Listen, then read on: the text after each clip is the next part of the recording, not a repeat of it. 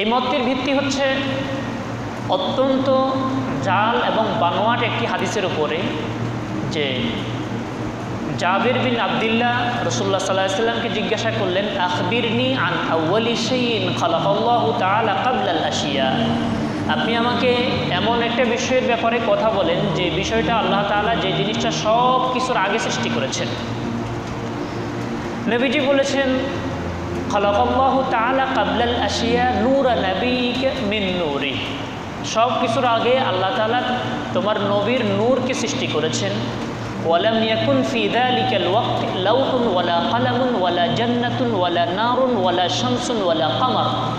ওই সময় চাঁদ, সূর্য, গ্রহ, নক্ষত্র কিছুই ছিল না। এই যে হাদিসটি বললাম, এটি উম্মতের সবার সিদ্ধান্তক্রমে এটি একটি বানোয়াট এবং মিথ্যা কথা। ইসলামের ছয়শত বছর পর্যন্ত এবং হাদিসের কোনো কিতাবে হাদিসের অস্তিত্ব পাওয়া যায় না। এজন্য পূর্বের মতগুলোর কিছু ভিত্তি থাকলেও এই মতের কোনো ভিত্তি নেই। মোট মিলে আমরা যা বুঝলাম যে আল্লাহ তাআলা প্রথম যা সৃষ্টি করেছেন তা হচ্ছে কি? আর্শ। নবী করিম সাল্লাহ আলী ওয়াসাল্লামের নূরের ব্যাপারে উম্মত তিনটি শ্রেণীতে বিভক্ত। কয় শ্রেণীতে বিভক্ত? তিন শ্রেণীতে বিভক্ত। প্রথম একটা শ্রেণি নবী করিম সাল্লাহ সাল্লামের নূর নিয়ে কথা বলে তারা কাফের হয়েছে, মুশরিক হয়ে গিয়েছে। দ্বিতীয় এক শ্রেণির লোক তারা নবী করিম সাল্লাহ সাল্লামের নূর নিয়ে কথা বলে মুশরিক হয়নি, তবে গোমরা হয়েছে। তিন নম্বর এক শ্রেণির লোক তারা নবী করিম সাল্লাহ সাল্লামের নূর নিয়ে আলোচনা করে ইনসাফ করেছে। তারা হক এবং সঠিকের উপরে রয়েছে। প্রথম শ্রেণির যারা নবী করিম সাল্লাহ সাল্লামের নূর নিয়ে আলোচনা করতে গিয়ে তারা গোমরা হয়েছে মুশ্রিক হয়ে গিয়েছে যারা, তারা হচ্ছে, তারা বলে যে আল্লাহ তার নবীকে স্বয়ং আল্লাহর নূর থেকে সৃষ্টি করেছেন। নওয়াজবিল্লাহ আলী এতে আল্লাহ তাল্লার সাথে শরিক সাব্যস্ত হয়ে যায়।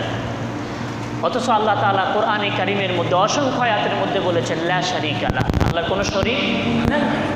সুতরাং কেউ যদি এই আকিদে পোষণ করে যে আল্লাহ তার নবীকে আল্লাহর নূর থেকে সৃষ্টি করেছেন, ওই ব্যক্তি মুশরিক এবং খ্রিস্টানরা ঈসা আলাইসালাতামের ব্যাপারে যে আকিদা পোষণ করে, এই আকিদা পোষণ করার কারণে এরা ইসলাম থেকে বেরিয়ে গেছে। তাদের দাবি হচ্ছে আল্লাহ তালা ঈসা মসিকে সৃষ্টি করেছেন লাইট ফ্রম লাইট, আলো থেকে আলো। এবং মুসলিমদের মধ্যে এক শ্রেণির লোকেরা এই আকিদা পোষণ করে, খ্রিস্টানদের মতো তারাও ইসলাম থেকে বের হয়ে গিয়েছে। এই আকিদা পোষণ করে কেউ যদি দুনিয়া থেকে যায়, সে ব্যক্তি খারিজুন আন্দা ইরাতুল ইসলাম। ওই ব্যক্তি ইসলাম থেকে বেরিয়ে গেছে। মুখাল্লাদ ফিন্নার এবং স্থায়ীভাবে সে জাহান নামে বসবাস করবে। কারণ সে আল্লাহর সাথে স্পষ্ট শিরিক করেছে। দ্বিতীয়ত নবী করিম সাল্লাহ সাল্লামের নূরের ব্যাপারে আরেকটা গোষ্ঠী যারা, তারা বলে যে আল্লাহর নূর থেকে সৃষ্টি করেনি, বরং নবীকে আল্লাহ তালা বিশেষ একটা নূর দিয়ে সৃষ্টি করেছেন। এদের এই কথার সপক্ষে কোরআন এবং হাদিসের সহি কোনো ধরনের হাদিস নেই। এরা আল্লাহর নূর না বলার কারণে এরা মুশ্রিক হয়নি, তবে একটা বাতিল আকিদে পোষণ করার কারণে এরা গোমরা হয়েছে। তিন নম্বর যে শ্রেণি, যারা নবী করিম সাল্লাহ সাল্লামকে বলে যে নবী নূর, তবে এই নূরটা সৃষ্টিগত কোনো নূর নয়। যেমন আল্লাহ তালা কোরআনকে নূর বলেছেন। আল ইলমু নূর ইলমকে, জ্ঞানকে আল্লাহ তালা নূর বলেছেন। আল ইসলাম নূর ইসলামকে নূর বলা হয়েছে।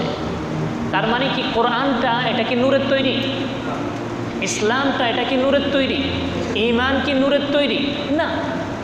বরং একে কি নূর বলা হয়েছে? এটা হেদায়তের নূর। কিসের নূর? হেদায়তের নূর। তো নবী করিম সাল্লাহ আলী সাল্লাম এই যে হেদায়তের যে নূর, এটা কিন্তু আমরা সবাই জাগতিক ক্ষেত্রেও আমরা ব্যবহার করি। এই যে একটা কথা, একটা স্লোগান দেওয়া হয় যে শিক্ষার আলো ঘরে ঘরে যে আলো। এই যে শিক্ষার যে আলোর কথা বলা হয়েছে, শিক্ষা মানে জ্ঞান এর শিক্ষার আলো ঘরে ঘরে জালো তার মানে কি? এই শিক্ষা থেকে একটা আলো বের হয়, সে আলোটা অন্ধকার ঘরে জ্বালাই দিতে হবে। বিষয়টা কেমন না ঠিক নবী করিম সাল্লাহ সাল্লামকে আল্লাহ তালা যত জায়গায় নূর বলেছেন, তত জায়গায় নূর দ্বারা উদ্দেশ্য নিয়েছেন হেদায়তের নূর। অন্ধকার যুগে তিনি এসেছেন মানে হচ্ছে জাহিলি যুগে চাঁদ উঠতো না, সূর্য উঠতো না, বিষয়টা এরকম নয়। ওরা অজ্ঞতার সাগরে বসবাস করত। মোহাম্মদ সাল্লাহ ইসলাম তিনি এসে তাদের সে অজ্ঞতা দূর করে দিয়েছেন। এই হিসাবে তাকে বলা হয়েছে তিনি হচ্ছেন নূর নবী। কথা কি সবার বুঝে এসেছে? তো আল্লাহ সুবাহানা হুয়া তালা প্রথম যে সৃষ্টি করলেন যে বিষয়টি সৃষ্টি করলেন তার নাম কি আর্শ আর্শকে আল্লাহ তালা আজিম বলেছেন আজিম রব্বুল আরশিল করিম রব্বুল আরশিল আজিম তিনি মহান আরশের সম্মানিত আরশের মালিক والعظيم هو الشيء الذي لا عرض له ولا طول له ولا بداية ولا نهاية আর আজিম বলা হয় যে জিনিসের শুরু নাই, শেষ নাই, দৈর্ঘ্য নাই, প্রস্থ নাই, সেই জিনিসকে আজিম বলা হয় সুবহানাল্লাহ। ফাইনাল আর্শ আর্শ কোথায়? নবী করিম সাল্লাহ আলহি ওয়াসাল্লাম তিনি ইরশাদ করেছেন, ইদা সাআলতুমুল্লাহ ফাসআলুল্লাহ আল ফিরদৌস তোমরা যদি আল্লাহ তাআলার কাছে কিছু, কোনো জান্নাত যদি পেতে চাও, জান্নাতের কয়টা দরজা আছে? আটটি দরজা। কয়টি দরজা? আটটি দরজা। সবচেয়ে উন্নত সবচেয়ে বড় জান্নাতের নাম কি? জান্নাতুল ফেরদাউস। নবী সাল্লাহ সাল্লাম বলেছেন ইজা ফিরদাউস। যখন তোমরা আল্লাহর কাছে চাইবে, তখন ফিরদাউসটা চাইবে। কোনো কোনো মানুষকে বলতে শোনা যায় যে আমার এত বড় কিছু লাগবে না, জান্নাতে মোটামুটি একটু জায়গা পেলেই হবে। এই কথাগুলো আসলে আল্লাহ পছন্দ করেন না। নবী কিম সাল্লাহ সাল্লাম এগুলো আমাদেরকে শিক্ষা দেননি। আল্লাহ তালা যদি আপনাকে ক্ষমা করে দিয়ে আপনার কোনো ন্যাকামলের উপরে খুশি হয়ে যদি জান্নাতুল ফেরদাউস দিতে চায়, তাহলে কেউ কি ঠেকাতে পারবে? তাহলে আল্লাহর কাছে চাওয়ার সময় বড়টা চাই। নবী কিম সাল্লাহ সাল্লাম এটা শিক্ষা দিয়েছেন, সবাইকে কমান্ড করেছেন ইজা সাআলতুমুল্লাহ। ফিরদাউস। যখন আল্লাহর কাছে তোমরা জান্নাত চাইবে, তখন জান্নাতুল ফিরদাউস তোমরা আল্লাহর কাছে চাও। জান্না কেননা জান্নাতুল ফিরদাউস এটা হচ্ছে সবচেয়ে উচ্চ, সবচেয়ে সুউন্নত, সবচেয়ে মর্যাদাশীল জান্নাত। আল্লাহ আমাদের সকলকে জান্নাতুল ফিরদাউস নসিব করুন বলে আমি নবী করিম সাল্লাহ সাল্লাম এরপরে বললেন ওয়াফাউ কাহু আরশুর রহমান। আর জান্নাতুল ফিরদাউসের উপরে হচ্ছে দয়াময় আল্লাহর আরশ। সুবহানাল্লাহ জান্নাতুল ফিরদাউসের যে সাদ, আরশে আজিমের নিচের অংশ হচ্ছে জান্নাতুল ফিরদাউসের সাদ। সুবহানাল্লাহ এই জান্নাতুল ফিরদাউসে আল্লাহ সুবাহানা হুয়া তালা তার আরশ বহনকারী ফেরেশতারা তারা যে সর্বদাই আল্লাহ তালার তসবিরত থাকেন, আল্লাহর প্রশংসারত থাকেন, যারা জান্নাতুল ফেরদাউসে থাকবে, তারা ওই সব ফেরেশতাদের তসবির আওয়াজগুলো তারা শুনতে পাবে। এখন অনেকের মনে প্রশ্ন আসতে পারে, এত উপরের জান্নাত হিসেব নিকেশের পর আমি সেখানে যাব কীভাবে? কি প্রশ্ন আসতে পারে কিনা? আপনি আগে আমল করে সেটার উপযোগী হন। এই টেনশন করা লাগবে না। যারা জাহান্নামি, তাদেরকে আল্লাহ তালা নিক্ষেপ করবেন। তাদেরকে জাহান্নামের দিকে নিক্ষেপ করবেন। কিন্তু জান্নাতিদের জন্য আল্লাহ কি করবেন? আল্লাহ বলেছেন ওয়া উজলিফাতিল জান্নাতুলিল মুত্তাকিন মুত্তাকিদের জন্য জান্নাত যেখানে আছে, জান্নাতকে তাদের কাছে উপস্থিত করা হবে। সুবহানাল্লাহ। তো আরশ, এই পৃথিবীর এক একটি আকাশ থেকে এক এক আসমান থেকে অপর আসমানের দূরত্ব ইমাম তিরমিজি, সোনানি তিরমিজিতে উল্লেখ করেন রসুল্লাহ সাল্লাহ আলী আসাল্লাম উল্লেখ করেন, এক এক আসমান থেকে এক এক আসমানের দূরত্ব হচ্ছে পাঁচ শত বছরের রাস্তা। এবং প্রত্যেকটা আসমান তার পুরু। এটাও পাঁচ শত বছরের রাস্তার সমতুল্য। বিহামদি। এভাবে এক এক আসমান থেকে এক এক আসমানের দূরত্ব এরকম পাঁচ শত বছরের রাস্তা করে। সপ্তম আকাশের উপরে রয়েছে বিশাল এক সাগর। ওই সাগরের দূরত্ব হাদিসের মধ্যে উল্লেখ করা হয়েছে, জমিন থেকে শুরু করে আসমান পর্যন্ত যে দূরত্ব, ওই সাগরের দূরত্ব ততটুকু। সুবহানাল্লাহ ওয়াফাউকাহু আরশুর রহমান এবং তার উপরে হচ্ছে আল্লাহর আরশ।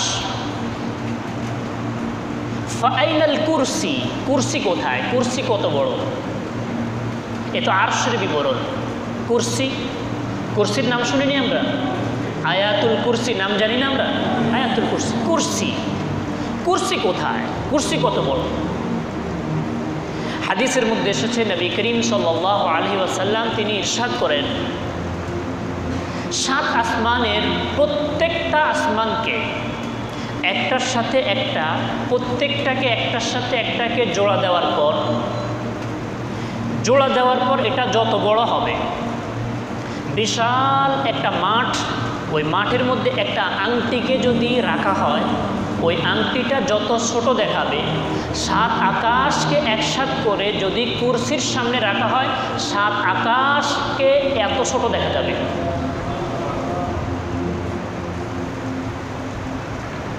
আর সাত আকাশ এবং কুরসি সবগুলোকে একসাথ করে যদি আরসের সামনে রাখা হয়।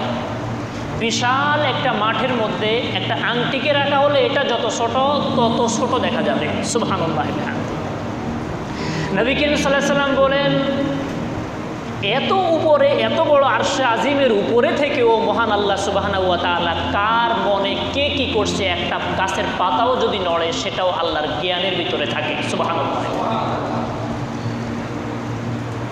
ويحمل عرش ربك يومئذ ثمانية কোরআনে আল্লাহ বলেছেন মহান আল্লাহর এই আরশে আজিমকে কেয়ামতের দিন আটজন ফেরেস্তা বহন করবে কয়জন কয়জন ফেরেস্তা আটজন ফেরেস্তা এখন প্রশ্ন আসতে পারে এত বড় আরশ আটজন ফেরেস্তা কি করে বহন করবে নবী করিম সাল্লাহ সাল্লাম বলেন, ওই আটজন ফেরেস্তার একজনের বিবরণ হাদিসের মধ্যে পাওয়া যায়।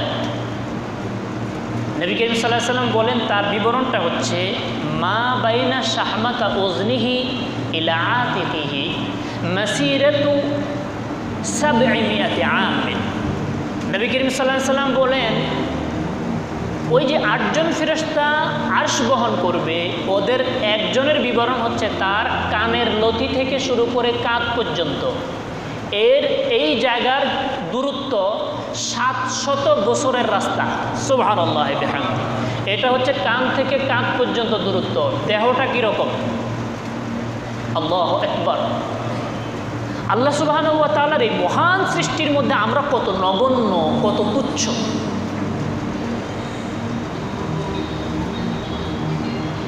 এই হচ্ছে আল্লাহ সুবাহান ওয়া তালার বিশাল সৃষ্টির আর্থের সংক্ষিপ্ত বিবরণ।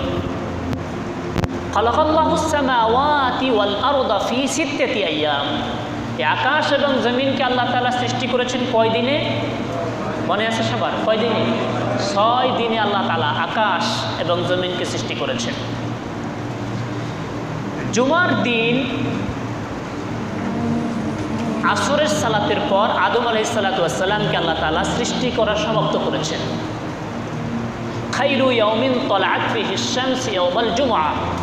যত দিনে সূর্য উদিত হয়, সব দিনগুলোর মধ্যে শ্রেষ্ঠ দিন হচ্ছে জুমার দিন।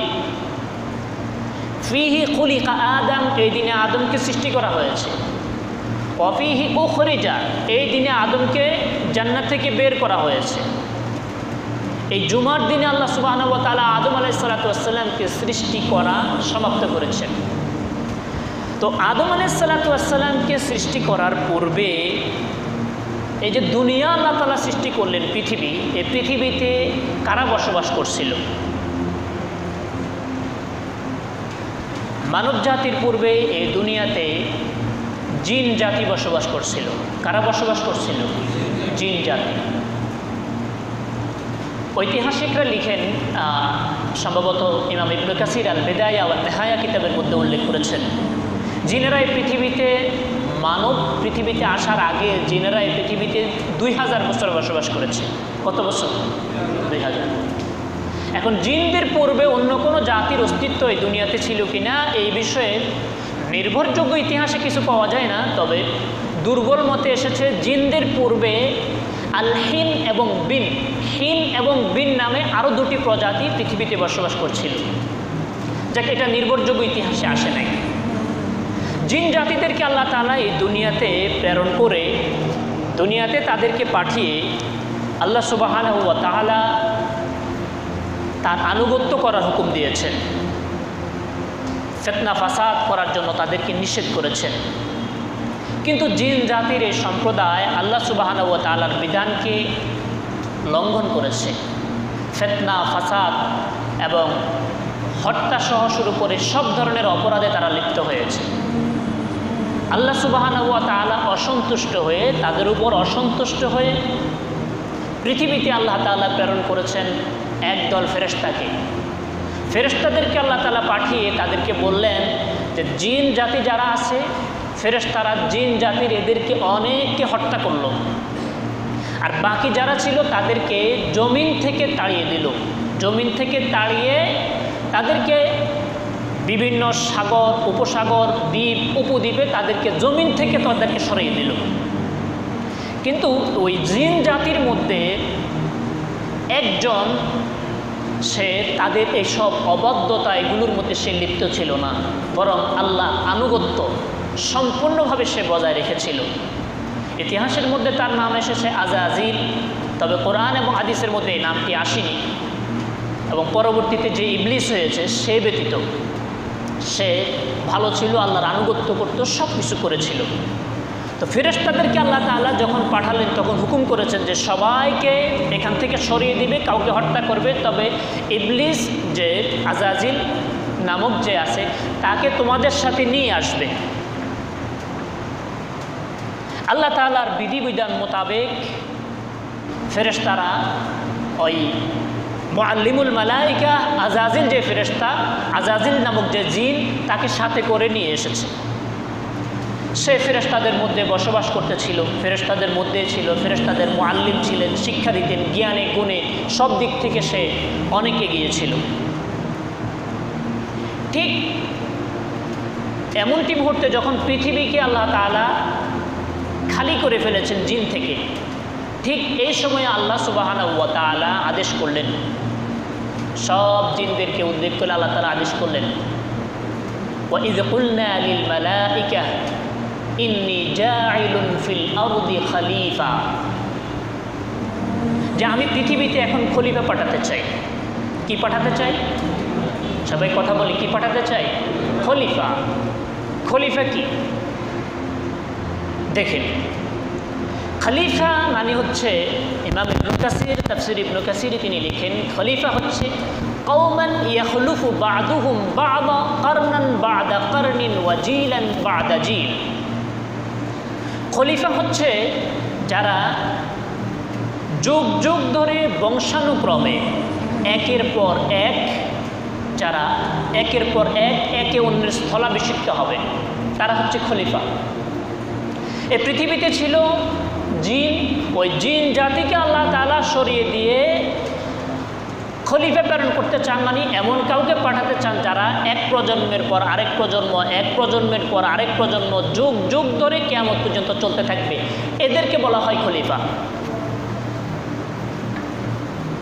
খলিফার দ্বিতীয় ব্যাখ্যা হচ্ছে আল্লাহ তালা মানুষেরা আল্লাহর বিধিবিধান দুনিয়াতে প্রতিষ্ঠিত করতে যাবে, নিজেরা আল্লাহর বিধিবিধান পালন করার পাশাপাশি অন্য মানুষদেরকে আল্লাহর বিধিবিধান পালনের প্রতি উৎসাহ দিবে। এদিক থেকে মানুষ হচ্ছে আল্লাহর খলিফা। এদিক থেকে মানুষ কার খলিফা? আল্লাহর খলিফা। একদিক থেকে মানুষ হচ্ছে জিন জাতির খলিফা। মানে জিন জাতিকে সরিয়ে দিয়ে মানব জাতিকে বসানো হয়েছে। আর আরেক দিক থেকে আল্লাহর বিধিবিধান বাস্তবায়ন করানোর দিক থেকে মানুষ হচ্ছে কার খলিফা? কথা বলি, মানুষ কার খলিফা? আল্লাহর খলিফা। আল্লাহ তালা বললেন, আমি খলিফা বানাতে যাচ্ছি। ফেরেশতাদের কাছে আল্লাহ পরামর্শ চাই। পরামর্শ তো ওই ব্যক্তির জন্য দরকার হয়, এমন কোনো সত্তার দরকার হয় যিনি ভুল করতে পারেন। আল্লাহ তালার ব্যাপারে কি এই ধরনের কোনো কিছু অবকাশের সুযোগ আছে? আল্লাহ তালা ফিরেস্তাদেরকে লক্ষ্য করে বললেন, আমি পৃথিবীতে খলিফা বানাতে যাচ্ছি। এই লক্ষ্যে আল্লাহ সুবাহানা তালা কি করলেন?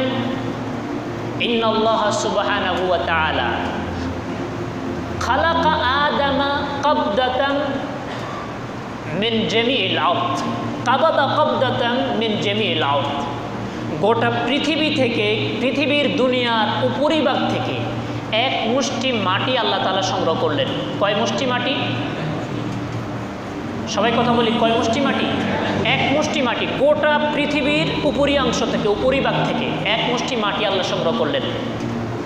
আদম শব্দের কয়েকটি অর্থ রয়েছে। এটি সরিয়ানি ভাষার শব্দ, কেউ বলেছেন হিব্রু ভাষার শব্দ। এর একটি অর্থ হচ্ছে বিল মা, আদিমুল আর্দ, পৃথিবীর উপরিভাগ পৃথিবীর উপরিভাগকে আদম বলা হয়, আদিম বলা হয়। গোটা পৃথিবীর উপরিভাগ অংশ থেকে আল্লাহ সুবাহান মাটি সংগ্রহ করে আদম আলহি সাল্লাতামকে সৃষ্টি করলেন। নবী করিম সাল্লাম বলেন ফাজা বানু আদম আলা গোটা দুনিয়ার সব জায়গার মাটি, এটার রং কি একরকম? কথা বলি, রং একরকম?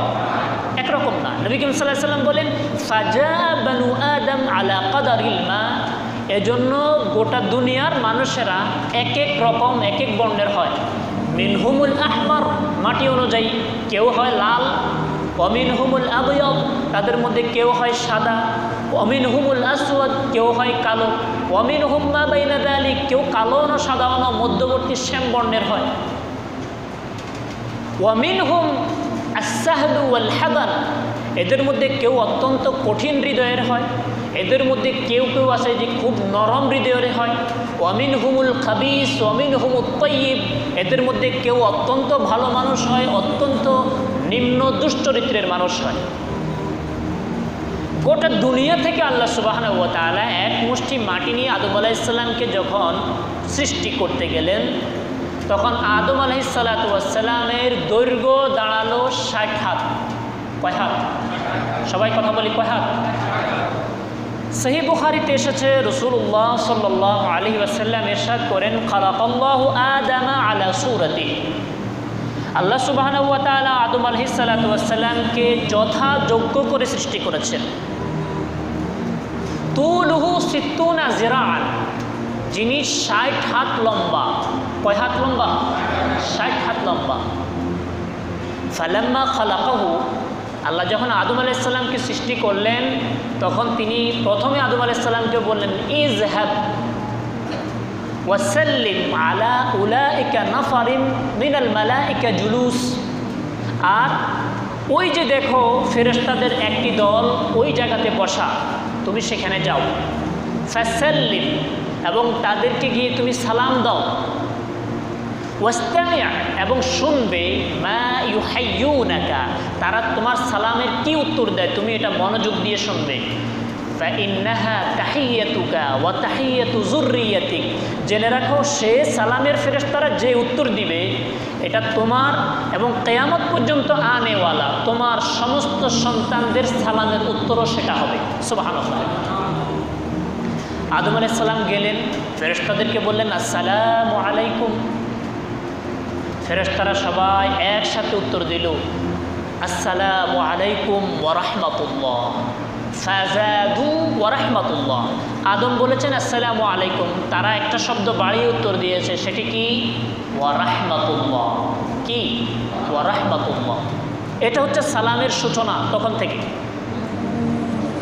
নবী করিম সাল্লাহ সাল্লাম এরপরে বললেন, ফাকুল্লু মানিয়াদুফুলিল জান্নাহ আলা সৌরতি আদম। প্রত্যেক যেই ব্যক্তি জান্নাতে প্রবেশ করবে, ওই জান্নাতে প্রবেশ যারাই করবে, তারা আদম আলহি সালাতামের সৌরাতে ষাট হাত লম্বা হয়ে জান্নাতে প্রবেশ করবে।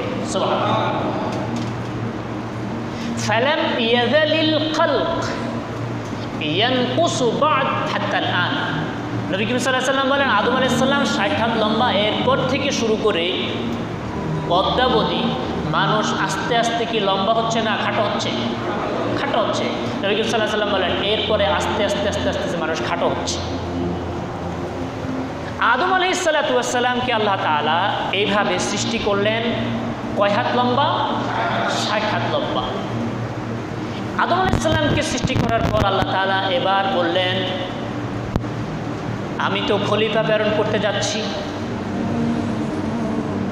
ফেরেস্তারা সবাই তখন বলে উঠল কালু আতাজআলু ফিহা من يفسد فيها ويسفك الدماء ونحن نسبح بحمدك ونقدس لك قال إني أعلم ما لا تعلمون আল্লাহ তালা যখন বললেন আমি পৃথিবীতে খলিফা প্রেরণ করতে যাচ্ছি ফেরেশতারা তখন এক বাক্যে বলে উঠল আতাজ আলু ফিহা মাইয়ুফসিদু ফিহা ওয়াসফিকুদ্দিমা আপনি কি এমন কাউকে সৃষ্টি করতে চান যারা পৃথিবীতে ফেতনা ফাসাদ করবে ওয়াসফিকুদ্দিমা এবং রক্তপাত করবে? আপনি এমন কাউকে সৃষ্টি করতে যাচ্ছেন? আল্লাহ তাআলা তার সিদ্ধান্ত জানিয়ে দিলেন। সিদ্ধান্ত জানিয়ে দেওয়ার সাথে সাথে ফেরেশতারা স্বতঃস্ফূর্তভাবে এমনিতে বলে উঠল যে আপনি এমন কাউকে সৃষ্টি করার কি কারণ? যারা রক্তপাত করবে, ফেতনা ফাসাদ করবে। প্রশ্ন হচ্ছে, ফেরেশতারা কীভাবে জানলো, কীভাবে বুঝলো যে মানুষ খলিফা পৃথিবীতে এসে ফেতনা ফাসাদ করবে? কীভাবে বুঝলো? ফেরেশতারা কি গায়েব জানে? কথা বলেন, ফেরেশতারা গায়েব জানে? গায়েবের একমাত্র মালিক কে? আল্লাহ তাআলা বলেছেন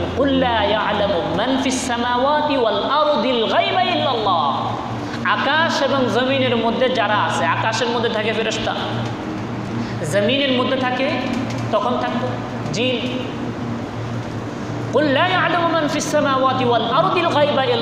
আকাশ এবং জমিনের মধ্যে কেউই গায়েব জানে না, একমাত্র গায়েব জানেন কে?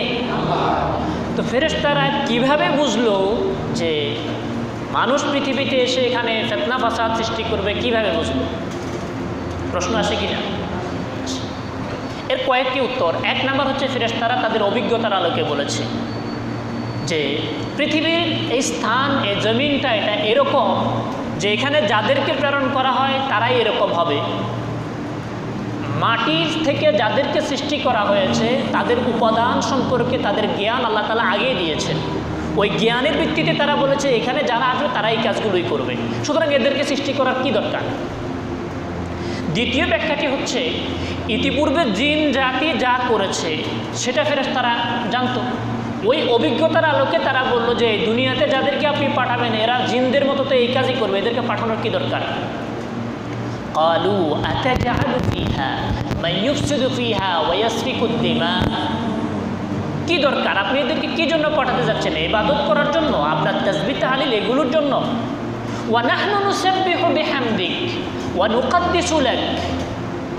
যদি তাসবিহ তাহলিল এগুলোর জন্যই যদি আপনি তাদেরকে পাঠানো যদি আপনার উদ্দেশ্য হয়ে থাকে, ওয়া নাহনু নুসাব্বিহু বিহামদিক, আমরা তো অনবরত আপনার প্রশংসার সাথে আপনার তাসবিগুলো আমরা জপে যাচ্ছি, আপনাকে আমরা এভাবে আপনার আনুগত্য করে যাচ্ছি, তাহলে আপনি কেন তাদেরকে সৃষ্টি করতে যাচ্ছেন?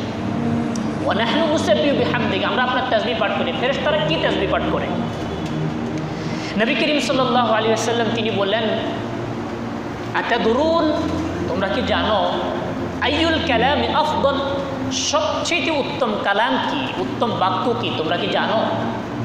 সাহাবিরা বলল, আল্লাহ ওয়া রাসূল আলাম। আল্লাহ এবং তার রসুল ভালো জানেন সবচেয়ে উত্তম বাক্য কি। নবী করিম সাল্লাহ সাল্লাম বলেন, আফদলুল কালাম, আফদলুল জিকির আফদলুল তসবিহ। সবচেয়ে উত্তম তসবিহ যেটা, সেটা হচ্ছে যে তসবিটা আল্লাহ ফেরেশতাদেরকে শিক্ষা দিয়েছেন এবং ফেরেশতারা যেটা সব সময় জপে সেটা হচ্ছে সুবহানাল্লাহি ওয়া বিহামদিহি সবাই পড়ি সুবহানাল্লাহি ওয়া বিহামদিহি মান قال সুবহানাল্লাহি ওয়া বিহামদিহি মাররা গরিসাত লাহু নাখলাতুন ফিল জান্নাহ যে ব্যক্তি একবার বলবে সুবহান আল্লাহি ওয়া বিহামদিহি জান্নাতে আল্লাহ তাআলা তার জন্য এত বড় একটি প্রতিবারের বলার বিনিময়ে এত বড় একটি বৃক্ষ তার জন্য বপন করেন যে সবচেয়ে দ্রুতগামী বাহন দিন রাত একশো দিন দৌড়ালেও সেই গাছের ছায়া শেষ করতে পারবে না। সুবাহান এই যে সুবাহান আল্লাহি একবার বললাম, একটা বপন হয়ে গেছে। এভাবে যত বলবে তত। এটা হচ্ছে ফেরেস্তাদের তসবি ফেরেস্তারা বলল, আমরা তো অনবরত প্রশংসার সাথে আপনার তসবি পাঠ করে যাচ্ছি। আপনি কেন তাদেরকে সৃষ্টি করতে যাচ্ছেন? আল্লাহ তালা কি জবাব দিলেন? আল্লাহ তালা বললেন, ইন্নি আলাম আমি যা জানি, তোমরা তা জানো? আমি যা জানি, তোমরা তা জানো? এই আয়াতের ব্যাখ্যার মধ্যে মুফাসসিরিন কেরাম লেখেন, আমি যা জানি, তোমরা তা জানো না? মানে হচ্ছে, আল্লাহ তালা এই খলিফার মাধ্যমে এমন এমন এমন ব্যক্তিদেরকে পৃথিবীতে পাঠাবেন যাদের গুণা করার শক্তি থাকবে, কিন্তু তারপরেও গুণা হয়ে গেলে সাথে সাথে তবা করবে। এবং এদের মধ্যে থেকে এমন নবী আসবে, এমন নবীরা আসবে, যাদের মর্যাদা, সম্মান ফেরেস্তাদের থেকে কম না বেশি? বেশি। আফদলুল খালক মোহাম্মদুর রসুল্লাহ সাল্লাহ আলী ওসাল্লাম আল্লাহ তালা যত কিছু সৃষ্টি করেছেন, সব সৃষ্টির মধ্যে শ্রেষ্ঠ সৃষ্টি হচ্ছেন মোহাম্মদুর রসুল্লাহ সাল্লাহ আলী ওসাল্লাম এদের মধ্যে থেকে নবী হবে, এদের মধ্যে থেকে অলি হবে, এদের মধ্যে থেকে শহীদ হবে, এদের মধ্যে থেকে নেককার মানুষ হবে, সিদ্দিক হবে সলে হবে। এটা তোমরা জানো না? প্রত্যেক দিন ফেরেশতারা আসরের সময় একদল ফেরেশতা জমিনে আসে, আরেক দল চলে যায় আল্লাহর কাছে। ফজরের সময় একদল আসে, আরেক দল চলে যায়। যখনই তারা আল্লাহ তালার কাছে যায়, আল্লাহ তালা তখন জিজ্ঞাসা করেন, তোমরা আমার বান্দাদেরকে কি অবস্থায় দেখে এসেছ বলো? আর বান্দারা কি করে? কি অবস্থা দেখে আসে? সব ফেরেস্তা এক বাক্যে জবাব দেয় তারাক না হুম ওহুম ইউসল্লুন আতাই না হুম ওহুম ইউসল্লুন। আল্লাহ যখন দুনিয়াতে আসলাম, তখন দেখলাম তারা সালাদ পড়তেছে। আর যখন তাদেরকে রেখে আসলাম, তখনও দেখতেছি তারা সালাতই পড়তেছে। সুবহানাল্লাহ। আল্লাহ তালা বলেন ইমনি আলামু আমি যা জানি, তোমরা তা জানো। কর্মের মাধ্যমে এই স্বীকৃতিটা আল্লাহ তালা প্রতিদিন তাদের থেকে নেন। ওই যে বলেন, কেন সৃষ্টি করবেন সব সময় আল্লাহ তালা এই স্বীকৃতি নিতেই থাকেন। যে তারা কি করছে? তোমরা বললে তারা ফেতনা করবে, ফাসাদ করবে। তা আমার এর মধ্যে দিয়ে এত কোটি কোটি মানুষ যাদেরকে তোমরা রেখে এসেছ, তারা সালাদ করতেছে এবং যখন তাদেরকে দেখলা, যখন গেলে তখনও সালাদ করতেছে যখন রেখে আসলা, তখনও সালাদ করতেছে তো তো, যারা সালাদ পড়ে না, তাদের ব্যাপারে ফেরেস তারা কি মিথ্যা সাক্ষী দিবে? যারা পড়ে, সালাদ পড়ে, তাদের ব্যাপারে ফেরেশতারা সাক্ষী দেয়। যারা পড়ে না, তাদের ব্যাপারে ফেরেশতারা ঠিক যা করে তাই সাক্ষী দেয়। প্রত্যেক দিন আমাদের সাক্ষী আল্লাহ দরবারে চলে যায়। আমি কি পড়ি? সালাতে আসি না? সালাতে নেই। এ সাক্ষী চলে যায়। ইন্নি আমি যা জানি, তোমরা তা জানো না।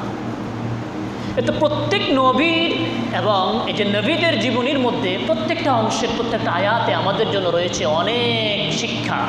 আমরা এগুলো ধারাবাহিকভাবে ইনশাল্লাহ আলোচনা করব। এখানে একটি প্রশ্ন এসেছে, আমরা প্রশ্নটা অত্যন্ত যৌক্তিক এবং এটা এই সময়ের জন্য উপযোগী। এজন্য আমরা প্রশ্নটার উত্তর দিয়ে এরপর আমরা যারা কাবলা জুমা পড় বাকি এসে পড়ব। এখানে প্রশ্নটি এসেছে, অনেক মানুষ আছেন যারা নিয়মিত সালাত আদায় করেন না, তবে প্রতি বছর কোরবানি দিয়ে থাকেন। তাদের ক্ষেত্রে ইসলামের বিধান কি? সালাদ পড়ে না, কোরবানি দেয়। এরকম মানুষ এই যিনি প্রশ্ন করেছেন, এরকম মানুষ সমাজে আসে না নাই? কম না বেশি? সালাদ না পড়লেও কোরবানি ঠিক আছে। এরকম আছে না? তো এর অবস্থা হচ্ছে, লুঙ্গি খুলে পাগড়ি মাথায় দেওয়ার মতো। কথা বুঝতে পারছেন? কি? লুঙ্গি খুলে পাগড়ি মাথায় দেওয়ার মতো। একজন শুনেছে ওয়াজের মধ্যে যে পাগড়ির অনেক ফজিলত, অনেক সওয়াব। সালাতে চলে আসলো। তো চলে আসার পরে দেখল যে, হায়, আমি তো পাগড়ি নিয়ে আসি নাই। তখন লুঙ্গিটা খুলে পেঁচিয়ে পাগড়ি মাথায় দিল। কিন্তু উলঙ্গ। এ ব্যক্তির কি স্বভাব হবে? খুব স্বভাব হবে? খুব স্বভাব হবে? খুব বুদ্ধিমান? খুব বুদ্ধিমানের কাজ করেছে? খেয়াল করেন ভাই। কোরআনে আল্লাহ তালা কি বলেছেন? কোরবানির ব্যাপারে কি বলেছেন? সালাতের ব্যাপারে কি বলেছেন? একটু খেয়াল করেন। সৌরা আল কাউসার ইন্না আপায়না কাল কাউসার আমরা জানি না সবাই? পড়ি সবাই। ইন্না আপায়না কাল কাউসার ফসল্লিলি রব্বিকা ওয়ানহার। ইন্না শানি কাহুয়াল আব্বার দ্বিতীয় নম্বর আয়াতে আল্লাহ বলেছেন, ফসল্লি লি রব্বিকা ওয়ানহার। আপনি আপনার রবের জন্য সালাদ পড়েন ওয়ান ওয়ানহার এবং কোরবানি করেন। আগে কি কোরবানির কথা বলেছে না সালাতের কথা বলেছে? কিসের কথা বলেছে? সালাতের কথা বলেছে। খেয়াল করেন কোরবানি এটা কি ফরজ, না সুন্নাত, না নফল, না মুস্তাহাব? এই নিয়ে উম্মতের মধ্যে মতভেদ আছে, মতানক্য আছে। উম্মতের অধিকাংশ আলেমের সিদ্ধান্ত হচ্ছে কোরবানি করা এটা সুন্নাত। কোরবানি করা কি? সুন্নাত। যদি কেউ করে, অনেক সওয়াব পাবে। যদি না করে, তাহলে গুণা হবে না। এটা উম্মতের অধিকাংশ সিদ্ধান্ত। তবে আমাদের হানাফি মাঝহাবের সিদ্ধান্ত হচ্ছে, কোরবানি করা এটা ওয়াজিব। না করলে গুণাগার হবে। এবং দলিলের আলোকে হানাফি মাঝহাবের মত শক্তিশালী। এজন্য আমরা বলি যে কোরবানি ওয়াজিব, এটা ঠিক। তবে কোরবানির ওয়াজিব আর সালাতের ওয়াজিব, সালাতের ফরজ সমপর্যায়ের নয়। সালাত পড়তে হবে কি না, এই নিয়ে কি উম্মতের মধ্যে কোনো মতভেদ আছে? মতভেদ আছে। কেউ বলেন যে পড়া লাগবে, কেউ পড়া লাগবে না, এরকম কোনো সিস্টেম কোনো সিস্টেম নেই। বরং উম্মতের সিদ্ধান্ত হচ্ছে, অধিকাংশ উম্মতের সিদ্ধান্ত হচ্ছে, কোনো ব্যক্তির সালাদ যারা পড়ে না, তাদের দুই অবস্থা। এক শ্রেণির লোকেরা, তারা যদি, এক শ্রেণির লোকেরা আছে, যারা বলে যে সালাদ না পড়েও আমি ভালো আছি। এরকম মানুষ আছে না? সালাদ না পড়লেও মানুষটা ভালো। বা যে ভালো থাকার জন্য, ইমানদার থাকার জন্য সালাদ না পড়লেও ইমান ভালো আছে। এরকম কথা বলে কিনা? বলে। অর্থাৎ এই ব্যক্তি সালাতের ফরজিয়তকে অস্বীকার করেছে। সালাদ যে ফরজ, অকাট্য বিধান, এটাকে অস্বীকার করেছে। কোনো ব্যক্তি যদি মনে করে যে সালাদ না পড়েও ভালো মমিন থাকা যায়, ভালো ইমানদার থাকা যায় উম্মতের কোনো মতভেদ ছাড়া সব ইমামদের একমতে ওই ব্যক্তি কাফের। যদি কেউ সালাতে ফরজিয়ত অস্বীকার করে। দুই নাম্বার, কোনো ব্যক্তি যদি এই আকিদা পোষণ করে যে সালাত আমাকে পড়তে হবে, এটা আবশ্যক, কিন্তু আমি অলসতার কারণে, নিজের কোনো খামখেয়ালির কারণে পড়ছি না, ওই ব্যক্তির ব্যাপারে কি হবে? উম্মতের অধিকাংশ এবং অধিকাংশ প্রায় প্রায় সবার সিদ্ধান্ত হচ্ছে, এই ব্যক্তি এমন পাপে লিপ্ত যে একটা ব্যক্তি যদি দৈনন্দিন তিন বেলায় শুকুরের মাংস দিয়ে খাওয়া দাওয়া করে, দৈনন্দিন জেনাবা বিচারে লিপ্ত থাকে, দৈনিক সে চুরি করে, ডাকাতি করে, ওই ব্যক্তির চাইতে এই ব্যক্তিটা বেশি খারাপ, আল্লাহর কাছে বেশি নিন্দনীয় যে ব্যক্তি অলসতা করে সালাদ ছেড়ে দেয়। মাঝে মাঝে পড়ে, জুমাতে আসে, ঈদে আসে, তারাবিতে আসে। এরকম, এদের অবস্থা হচ্ছে এরকম। উম্মতের তিন নম্বর সিদ্ধান্ত হচ্ছে না, যারা অলসতা করে সালাদ ছেড়ে দেয়, এরাও ইমানদার না। যদিও সালাতে ফরজিয়তকে স্বীকার করে। তাদের দলিল হচ্ছে لم يكن أصحاب رسول الله صلى الله عليه وسلم لا يرون شيئا من الأعمال تركه كفر غير الصلاة সাহাবায়ে کرام কেউ কোনো আমল ছেড়ে দিলে তাদেরকে কাফের মনে করতেন না কুফরি মনে করতেন না একমাত্র সালাদ যদি কেউ ছেড়ে দিত তাহলে মনে করতেন সেই ব্যক্তি কাফের হয়ে গেছে এই আলোকে তারা বলেন যে অলসতা করেও যদি কোনো ব্যক্তি সালাদ ছেড়ে দেয় ওই ব্যক্তি মুসলিম না মুসলমানদের মধ্যে যদি মারা যায় এই অবস্থায় তওবা না করে, তাহলে লাউদফানুফি মাকাবিরিল মুসলিমিন, মুসলমানদের গোরস্থানে তাকে দাফন করা যাবে না। তো কোরবানি আচ্ছা একটা লোক নিত্যদিন আল্লাহর ফরজ বিধান লঙ্ঘন করে। নিত্যদিন আল্লাহর ফরজ বিধান লঙ্ঘন করে, ওই ব্যক্তি আল্লাহর সন্তুষ্টির জন্য একটা নফল এবাদত করবে। এটা কীভাবে বিশ্বাস করা যায়? ব্যাপারটা এখানে নয়। ব্যাপারটা হচ্ছে, সালাতের যে ফলাফল, এটা দুনিয়াতে দেখতে পায় না। আর কোরবানি করার সাথে সাথে গোস্ত নগদ পাওয়া যায়। এই জন্য সেই কাজে এসেছে। ফেয়ারে হাজিরি এই জন্য কোনো ব্যক্তি যদি দা ইমান সালাদ পড়ে না, বা শুধু জুমাতে আসে, ঈদে আসে, এইরকম ব্যক্তি যারা আছে, তাদের কোরবানি কবুল হবে না, এটাই গ্রহণযোগ্য মত। তাদের কোরবানি কবুল হবে না। হ্যাঁ একটা ক্ষেত্রে কবুল হতে পারে, তারা যদি কোরবানির আগেই তবা করে নেয় যে, আল্লাহ, ভুল করেছি, তুমি মাফ করে দাও, এখন থেকে সালাদ পড়া শুরু করে দেব। আশা করা যায় আল্লাহ তালা তার তবা কবুল করে, তার কোরবানি কবুল করবেন। আল্লাহ সুবাহ আমাদেরকে বুঝার এবং আমল করার তৌফিক দান করুন। যারা কাবলা জমা পড়ার